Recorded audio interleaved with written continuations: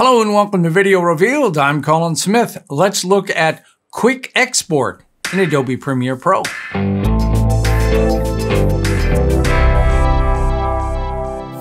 All right, there's one thing every single one of us does as an editor, and that's export. Doesn't matter if we're creating music videos or social media or films or documentaries or whatever, everybody has to export.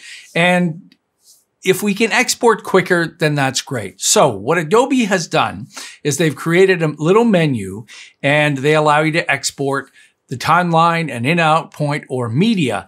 And they've given you a few choices. I want to show you what the default setting is. And that, that gives you a better idea of what, of what it says because it's, it's not always clear. So let's have a look. So typically in this timeline here, if I'm going to export this out, and I will just go to the File menu, Export, Media, or use the keyboard shortcuts Control M on Windows, Command M on Mac. And this blue line means I'm selecting the timeline to export because you can export more than just the timeline. You can export from the project bin, which I'll show you in a second. So a lot of times we'll get this kind of a dialog box. And by the way, this black edge is on that video too. If we go to other videos, this is not indicative of, of what this setting is. So the default most popular setting is H.264 match source high bit rate. Match source meaning, if we look down here, it matches the, the uh, sequence size, not the clip size. You remember that the, this is always based on the sequence size. Some people get that confused and think that this will automatically interpret what the clip is. The clip is being controlled by the sequence. If this was a 4K clip and it's in an HD sequence, it's an HD export. That's just the way Premiere Pro has done it forever. If you want 4K, make a 4K uh, timeline. But let's keep going. So down here is the frame rate, again, of our sequence, progressive, square pixels. So that's not new. But that'll give you an idea when we're about to export this timeline out and we go to this new button up here. And if you don't see this, update to the latest version. If you click on this quick export button, you'll get a tiny little menu that we can use to quickly export. So from the top to the bottom, quick export is this timeline, which is called Arizona. This is the location of where I'm exporting. If you want to change it, click on it and pick a different location. This is the preset. And if you click on here, there are some choices. For instance, the default is match source, adaptive high bit rate. There's also medium and low bit rate. Here's your typical ones down here for 4K HD. This would be your typical YouTube HD, but this one can also be the YouTube or Vimeo export or 720 or 480. This just happens to be the easiest one.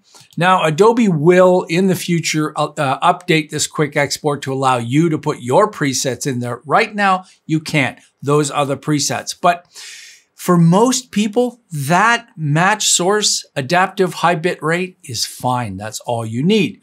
So just below that, you can see a quick summary is H.264 is the format 1920 1080, 23976 frames per second. So if we mouse over this, you can see that this is variable bit rate, one pass target 15.2 megabits per second. Again, if, if, if, if you don't even look at that, which I don't, I mean, this video here, I just chose YouTube and export. Actually, for this video, I am going to choose this default and then I'll export it out to YouTube. Uh, stereo is the master output and then there's an estimated file size. So when I'll click export, it's going to do the same thing that you would normally uh, see if you're exporting not out of Media Encoder, but you're exporting out of Premiere Pro, and that is exporting here. I'm getting my benefit of my NVIDIA card in my uh, Dell 7740. This, this is using GPU acceleration to create this H.264, and it's way faster with hardware. So give it a moment and uh, You'll see this dialog box. The quick export menu will disappear and I'll get a notification down at the bottom that I've successfully exported this out. There it is, video is exported. I'll just go to that folder now. There it is. So the whole sequence was exported out.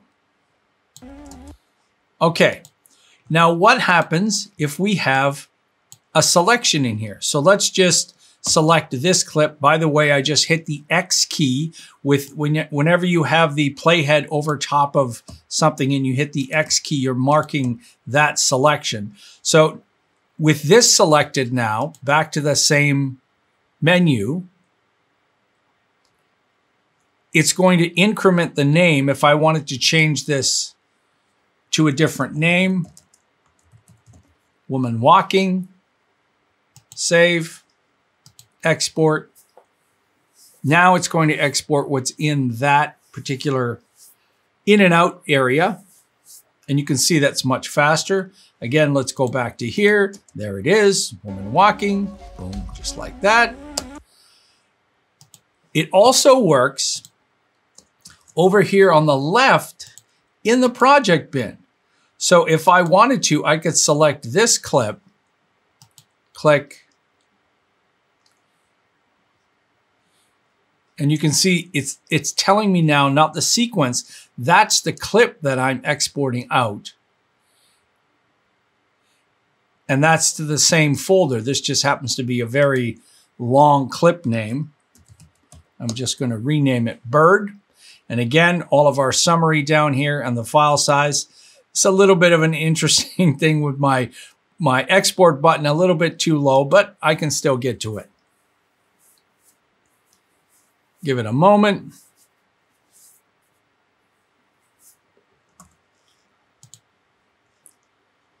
There's the bird shot right there.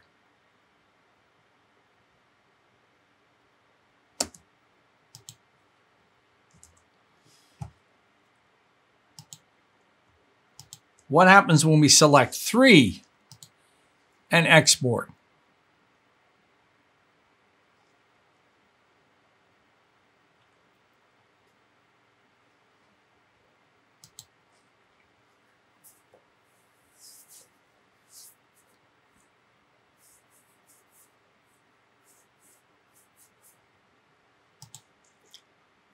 So even with three selected, this is just like the regular export from Adobe Premiere Pro. Even though I have selected three, Premiere Pro can only export one at a time. If you want multiple output, that's where you have to send to Media Encoder, which you could do. So there you go. That's the new quick export out of Adobe Premiere Pro. Just saves a lot of time from having to open up that same export menu to choose the same setting that you're probably doing, which is um, an H.264 HD or, or 4K quick export makes a lot of sense, just makes life easier. Because none of us look forward to exporting, it's just one of the jobs we do. We want to get our export out of the way so we can get back to doing what we love the most, which is creating amazing video content in Adobe Premiere Pro. Hey, if you're new to Video Revealed and you found this informative, take a moment and subscribe. We do appreciate it. If you want to support us some more, you can do that through our store on videorevealed.com. Go to the shop there. You can donate once or monthly. You can buy our split screens, tickers. There's a bunch of free stuff to download, and uh, we'll keep adding to that all the time. We appreciate everyone who's supporting us. They're wonderful people. Many of you have been supporting us for quite a while. We do really appreciate that. Till next time, I'm Colin Smith, and it's my job to make sure that we can find out the stuff that will make us work faster and just get back to editing, being creative.